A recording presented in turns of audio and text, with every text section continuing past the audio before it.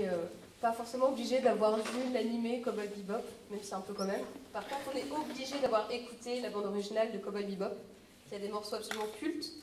Mais celui qu'on va vous faire, il est méconnu, mais c'est un coup de cœur à moi et à, et à Jill Donc on a forcé Camille à le faire. S'appelle ILM.